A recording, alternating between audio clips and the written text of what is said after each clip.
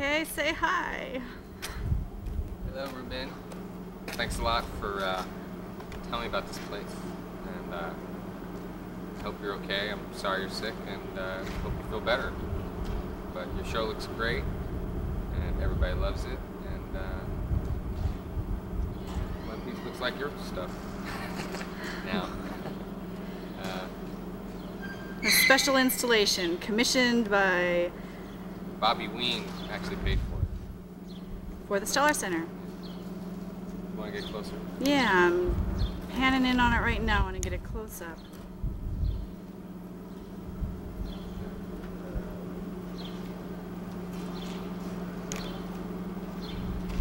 Okay. Permanent installation of David's work on the Staller Center Gallery. Thought you might like to see it. Looks like bronze, but it's actually. Great.